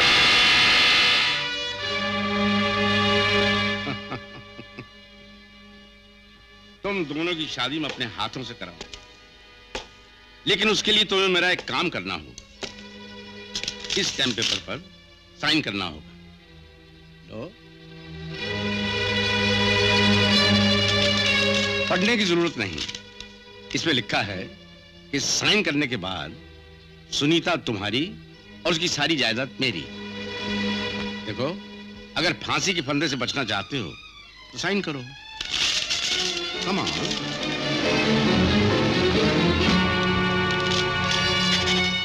that's better hello token number बारह क्या? मैं तुम्हारे बारे में सब कुछ जान गया हूँ। क्या जान गए हो? यही कि तुम सुनीता नहीं हो। तुम उसकी जुड़वा बहन हो जिसकी सारी ज़िंदगी सिटी मेंटल हॉस्पिटल की चार दीवारी में गुजरी। जहाँ उसे सिर्फ़ टोकन नंबर बारह के नाम से पुकारा जाता था। सबूत के तौर पर तुम्हें पालने वाले उस डॉक्टर की फ़ाइल तुम्हारे सामने है जिसमें तुम्हारी ज़िंदगी की दास्तान लिखी हुई है। क्या ये सब जान लेने के बाद तुम मुझे वापस वहीं भेज दोगे? नहीं प्लीज़ मैं वहाँ जाना नहीं चाहती। वहाँ मेरा दम घुट जाएगा मैं मर जाऊँगी मैं मर जाऊँगी। प्लीज़ नहीं मैं नहीं जाना चाहती। मुझे वहाँ मत भेजिए मुझे वहाँ मत भेजिए। मैं नहीं जाना चाहती मैं नहीं जाना चाहती।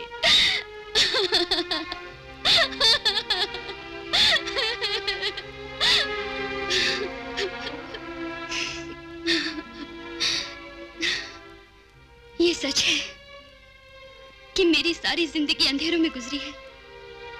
लेकिन एक दिन अचानक, जब मैंने डॉक्टर अंकल की फ़ाइल को पढ़ा तो मुझे पता चला कि इस दुनिया में कोई मेरी बहन भी है।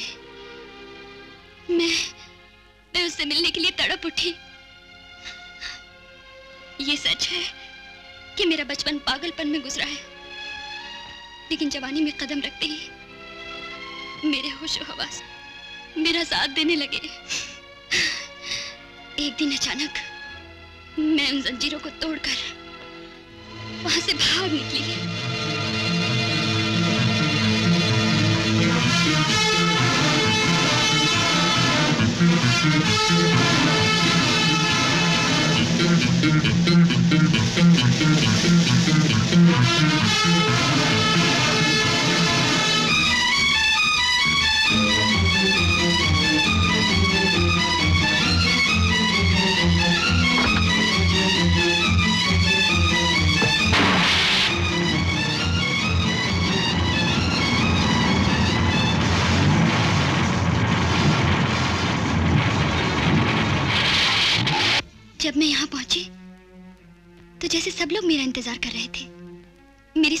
समझ नहीं आ रहा था। मैंने असलियत बताना भी चाहा लेकिन किसी ने मेरी बात नहीं सुनी। और आज और आज ज़िंदगी की सारी हकीकत साफ़ हो चुकी है। और सच पूछे तो पहले से भी ज़्यादा अब मुझे तुम्हारी मदद की ज़रूरत है। तुम नहीं जानती। मैंने सुनीता को कितना चाहा था कितना प्यार किया था। सुनीता मेरी बहन कहाँ है वो? यही जानने के लिए तो मैं तड़प रहा हूँ। अगर तुम यहाँ हो तो फिर सुनीता कहाँ है? ज़रूर वो उन इंसानों के शिकंजे में फंसी हुई है जो उसकी दौलत हासिल करने के लिए उसकी जान के दुश्मन बने हुए हैं। अगर तुम मेरी मदद करो तो मैं सुनीता तक पहुँच सकता हूँ। गुप्ता जी कैसे आ गए? आइए आइए Gupta ji. Good morning good morning आइए। Good morning good morning good morning doctor good morning आइए। अच्छा वो डॉक्टर साहब आ गए। एक गर्मा गर्म जोक सुनाओ। कमाल का है। इतना अच्छा जोक है कि कभी तो आराम से बैठा कर। गुप्ता जी आप अचानक आज यहाँ? सब ठीक तो है? दरअसल हम एक खास बात करने आए थे। आइए आइए बैठिए। डॉक्टर साहब आप कहेंगे या मैं कहूँ? सुनीता के बारे में कहना चाहते हो? जी हाँ। काफ़ी सोच विचार के बाद डॉक्टर साहब इस नतीजे पर पहुँचे हैं कि सुनीता की याददाश्त सिर्फ़ एक ही सूरत में वापस आ सकती है अगर उसकी शादी कर दी जाए। शादी? इस हालत में? जी हाँ मैं जानता हूँ। इस हालत में कोई भी शख्स सुनीता के साथ शादी करके अपनी ज़िंदगी बर्बाद नहीं करेगा। लेकिन वो मुश्किल भी डॉक्टर साहब ने आसान कर दी है। ये सुनीता के साथ शादी करने के लिए तैयार हैं। जी हाँ डॉक्टर होने के नाते मरीज़ को किसी भी तरह बचाना मेरा फ़र्ज़ है। चाहे मुझे शादी क्यों ना करनी पड़े। आप इसे मेरी कुर्बानी मत समझिए। मैं तो बस उसकी हेलो मम्मी। हेलो गुप्ता साहब। हेलो डॉक्टर साहब। हेलो मामा जी।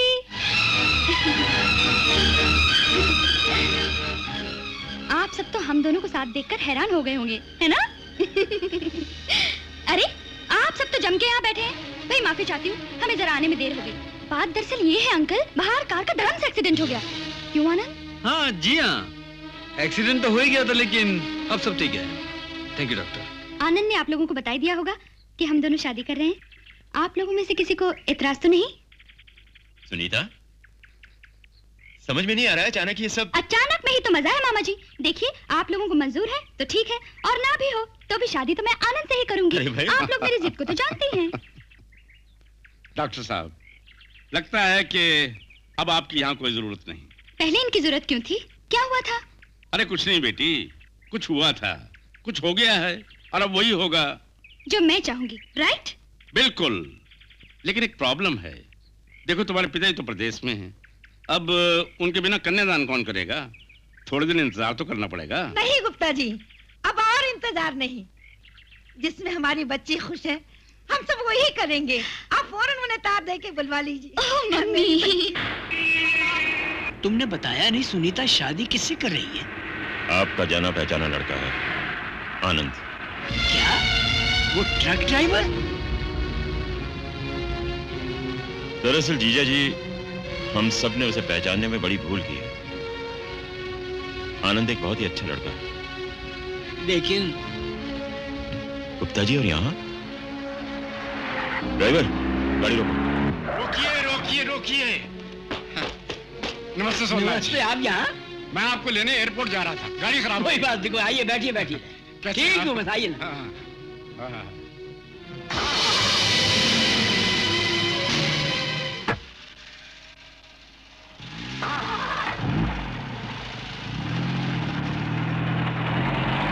कहिए सफ़र कैसा रहा?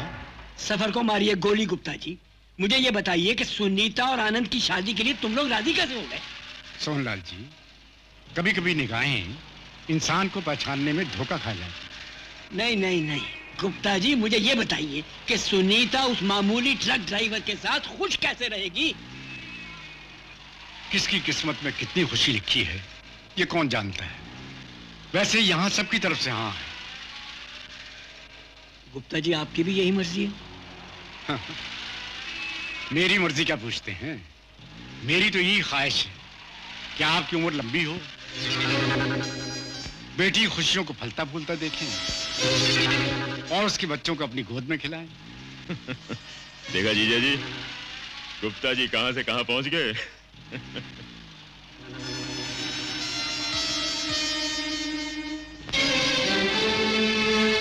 शायद दिल का दौरा पड़ गया। अरे देखो। देखो खून।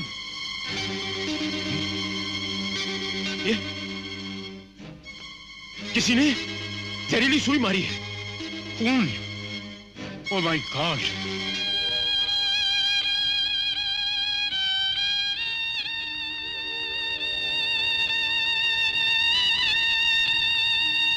सेठ जी ने क्या क्या सपने सजाए थे? क्या सोचा था और क्या हो गया? हम तुम्हारी शादी के हवन कुंड की तैयारियाँ कर रहे थे और यहाँ सोहनलाल जी की चिता जल रही है।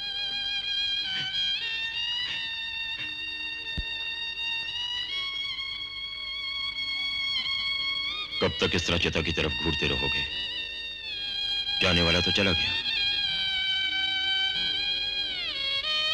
और जाते जाते इस चिता की रोशनी से कुछ अंधेरे भी दूर कर गए क्या कह रहे हो तुम? यही सेठ जी की इस अचानक मौत में मुझे किसी की साजिश साफ़ दिखाई दे रही है। साजिश? किसकी साजिश? सेठ जी की मौत से किस किस को फ़ायदा हो सकता था? मुझे या गुप्ता जी को? अभी तो सिर्फ़ ये जानना है कि एयरपोर्ट के रास्ते में गुप्ता जी की कार कैसे और क्यों खराब हो गई। उनका ये नया ड्राइवर कौन है? अब अब किस गहरी सोच में पड़े हो पार्टनर? वो तो खाक हो चुका है जिसका हमें डर था। एक डर खत्म हुआ दूसरा पैदा हो गया। इस दुनिया में एक और सुनीता भी तो है। ये राज सोनलाल के बाद नकली सुनीता और आनंद भी तो जानते हैं। आनंद हाँ? आनंद इस कांटे को भी मैं दूर करूँगा। बहुत पुराना हिसाब किताब चुकाना है मुझे। आप एक काम कीजिए आप इसे नीचे उतारिए उसे ऊपर पहुँचाने का काम मेरा है। और पार्टनर कादर अपना काम किस कामयाबी से करता है? इसका नमूना तो तुम देख ही चुके हो। अगर आप लोग चाहें तो एक आध नमूना मैं भी आप लोगों की सेवा में पेश करूँ।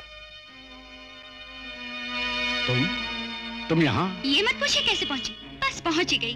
ठीक उसी तरह जिस तरह पागल खाने से कुफरी की हवेली में। ये बात दूसरी थी कि हवेली से निकलने के लिए मुझे उस पागल ट्रक ड्राइवर की बाहों का और बातों का सहारा लेना पड़ा।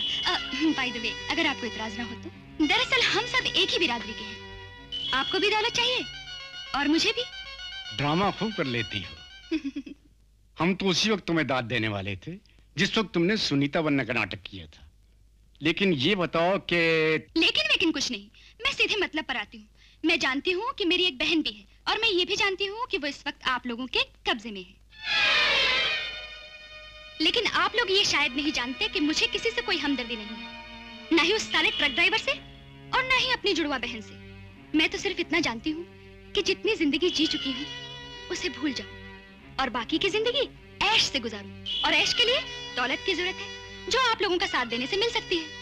और हाँ आप लोग अगर मेरा फ़ायदा नहीं उठाना चाहते तो मैं चलती हूँ। सुनो अब यहाँ आ गई हो तो ज़िंदा वापस कैसे जा सकती हो? करेक्ट बिल्कुल ठीक। अड्डे में आपके देख चुकी हूँ कारनामे मैं आपके जानती हूँ। अगर मैं यहाँ से ज़िंदा वापस चली गई तो आप लोगों के लिए मुश्किल हो जाएगी। और अगर आप लोगों ने मुझे मार डाला फिर तो और भी मुश्किल हो जाएगी। पूछिए क्यों? पूछिए पूछिए। क्यों? और वो क्या है कि मैं आप सबकी जन्म पत्री का लिफाफा अपने एक जोशी दोस्त के यहाँ छोड़ाई हूँ। अगर मैं आधे घंटे में वापस न पहुँची तो वो सीधा पुलिस स्टेशन पहुंचेगा। और फिर आप सबके लिए मुश्किल ही मुश्किल। चाहती क्या हो तुम? शादी करना चाहती हूँ। तुमसे। क्या? क्यों? तुम भी तो कुफरी में डॉक्टर बनकर सुनीता की दौलत के लिए उससे शादी करना चाहते थे है ना? खैर करोड़ों की दौलत मिलते ही हिस्सा बांटकर तलाक। तुम अपने रास्ते हम अपने रास्ते। ओके? हम्म। तुम हमारे साथ ईमानदार रहोगी इसका तुम्हें हमें सबूत देना पड़ेगा। दे देंगे? सबूत देने के लिए तुम्हें इसका इस्तेमाल करना पड़ेगा। कादर ठीक है मेम साहब। हम तुम्हें असली सुनीता के पास पहुँचा देते हैं। और तुम इस जहरीली सुई से उसको ऊपर पहुँचा दो। यानी कि एक बहन अपने हाथों दूसरी बहन को मौत के घाट उतारेगी। वेरी गुड फैंटास्टिक वैसे भी अपने धंधे में सेंटिमेंट्स और भाई बहन के नाते की कोई कीमत नहीं। पहचाना मुझे।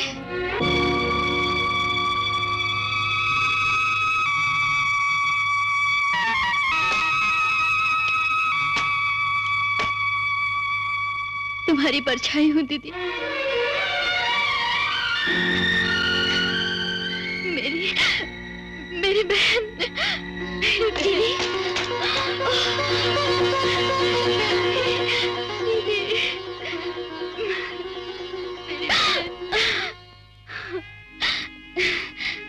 दीदी, मुझे देखकर खुशी नहीं हुई जो अपनी आँखों में आँसू ले आई हूँ। हाँ ये आँसू नहीं है, बहन।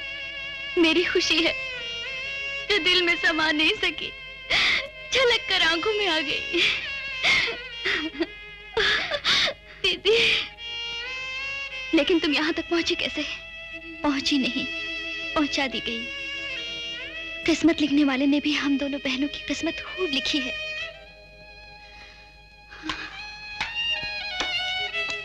पैदा होते ही एक दूसरे से जुदा कर दी गई। और जब मुलाकात हुई तो वो भी मौत की सरहद पर। क्या? मुलाकात की एक ही शर्त रखी गई थी मेरे सामने, कि तुम्हें ज़िंदगी की कैद से हमेशा के लिए आज़ाद कर दूँ। तैयार हो? हाँ। अपनी बहन से मुलाकात हो गई। अब कोई तमन्ना बाकी नहीं रही। क्यों? आनंद से मिलने की भी नहीं। मैं जानती हूँ, वो अब मुझे चाहता है। इसीलिए तुम अपनी जान दे देना चाहती हो। पगली वो तुम्हारी अमानत है। तुम्हारे लिए है। मैं मैं तो सिर्फ़ तुम्हारी परछाई हूँ। भला साया भी किसी को पाने की तमन्ना कर सकता है। जाओ, तुम्हारा प्यार तुम्हारा इंतज़ार कर रहा है।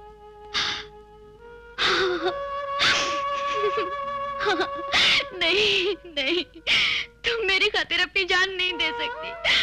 मैं तुम्हें ऐसा नहीं करने दूँगी। तुम मुझे रोक भी नहीं सकोगी दीदी। नहीं नहीं। नहीं। वही वही जो मुझे करना चाहिए था।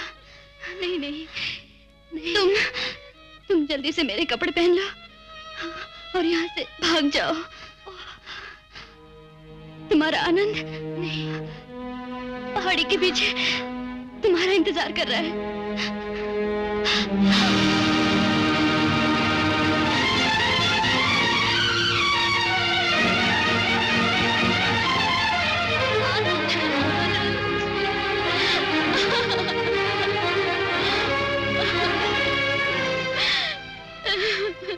सुनीता। मैं सुनीता तुम यहाँ हो तो फिर तुम्हारी बहन? मुझे तुम्हारी बाहों तक पहुँचाने के लिए उसने मौत को गले लगा लिया। क्या? हाँ, जालिम ने कुछ शर्तें ऐसी रखी थी कि हम दोनों में से कोई एक ही ज़िंदा बच सकता था। मैंने तुम्हारी तलाश के लिए रास्ता चुना था। नहीं जानता था मंजिल तक पहुँचने के लिए। उस बेचारी को अपनी लाश पर से गुजरना पड़ेगा। तुम्हारी बहन की ये कुर्बानी बेकार नहीं जाएगी। मैं उन जालिमों को चुन चुन कर मारूँगा। ख्याल अच्छा था बरखुरदार। लेकिन अफसोस पूरा नहीं होगा। तुम क्या समझते थे कि गुप्ता मैंने तुझ जैसा कमीना इंसान दुनिया में नहीं देखा। जो ज़िंदगी वो जिसके टुकड़ों पर पलता रहा उसी के साथ हर इंसान की ख्वाहिश होती है। वो एक दिन बड़ा आदमी बने दौलतमंद बने।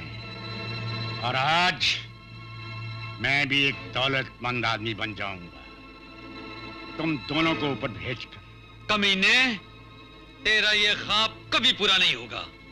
ख्वाब उसके पूरे नहीं होते जो दूसरों पर भरोसा रखता है। जैसे राज और कादर।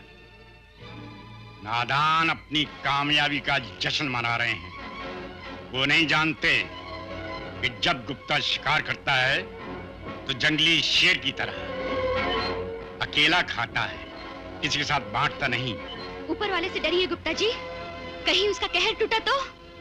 जिनके दिल में डर होता है उनके सर पर कामयाबी का ताज नहीं होता। मेरी ताजपोशी की रस्म के लिए तुम दोनों की कुर्बानी ज़रूरी है। आखिरी बार एक दूसरे को देख लो। फिर शायद मौका ना मिले।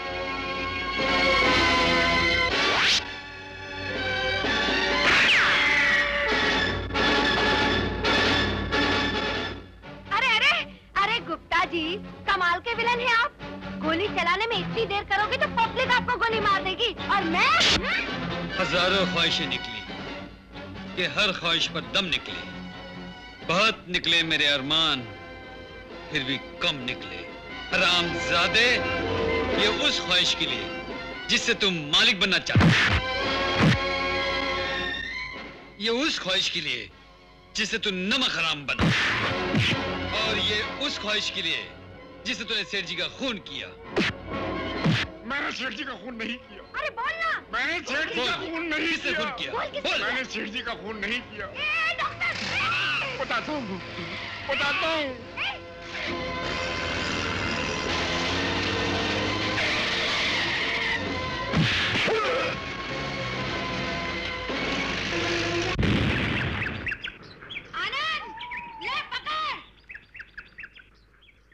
जरा भी हिलने की कोशिश की कमी ने तो तेरा भेजा मीलों दूर नज़र आएगा। तुम ऐसा नहीं करोगे बेटे क्योंकि इस बाजी की आखिरी चाल अब भी मेरे पास है। जरा उधर देखो।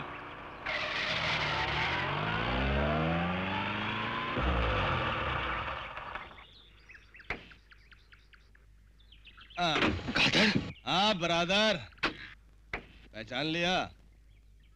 अबे देखता क्या है। कहा था ना, एक दिन हिसाब बराबर करने के लिए मैं ज़रूर आऊँगा। आज वो दिन आ गया है।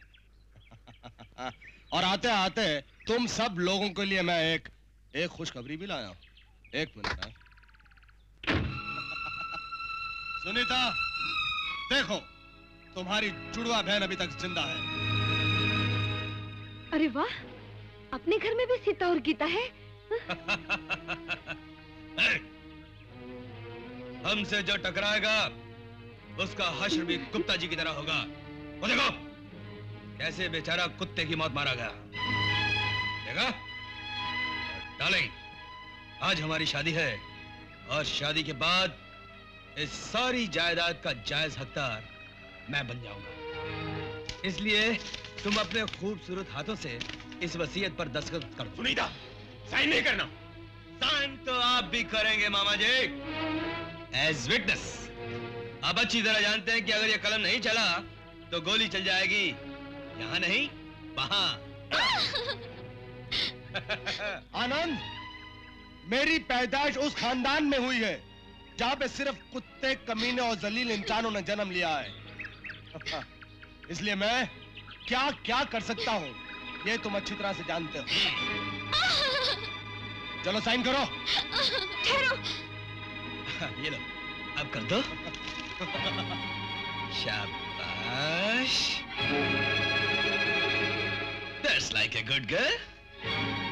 अरुण बंधन सबको एक साथ। आइए मामा जी आप भी अंगूठा लगा दीजिए। साइन कर दीजिए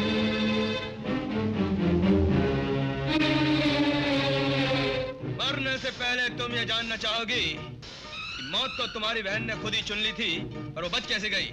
वो इसलिए कि हमें गुप्ता जी की नीयत पर शक हो गया था। और हमने जहर की बजाय बेहोशी की दवाई भर दी थी उस पेन में? और अब तुम सब मरने के लिए तैयार हो जाओ। आनंद! जेल की दीवार के पीछे हर दिन मैं इसी दिन के इंतज़ार में था कि जिस दिन मैं जेल से बाहर निकलूँगा, मैं तुम्हें जला के राख कर दूँगा। आनंद, ये है मेरा बदला। तुम सबकी मौत। एक, दो, और। तीन। अब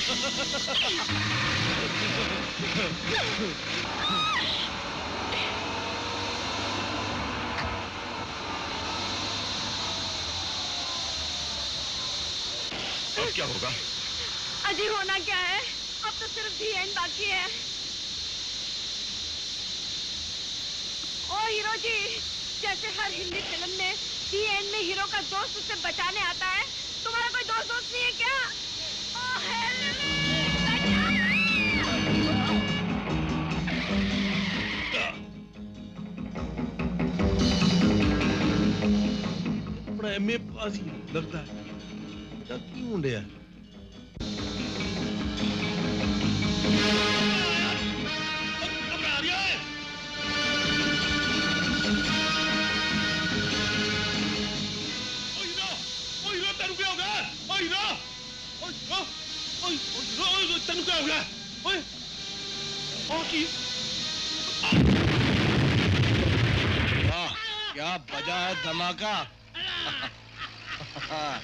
टैया टैया हो गया। सुनीता तुम सब ट्रक में आओ। उस्ताद जी आप आर आदमी का इंतज़ाम करो। अब प्लान के मुताबिक तुम्हारी धर्म पत्नी की लाश कल हाईवे पे मिल जाएगी। और तुम रोते रोते अमीर बन जाओगे।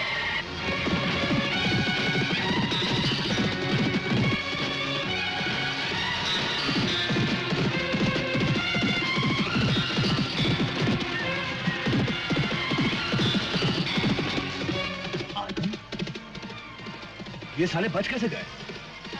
ये ट्रक कैसे आया इनके पास?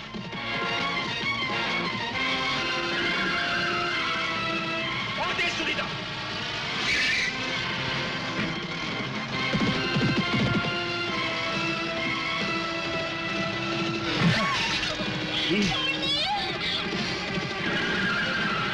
एक बार ये हरामजादा डॉक्टर राज मेरे हाथ आ जाए तो आज मैं इसका इलाज कर दूँगा।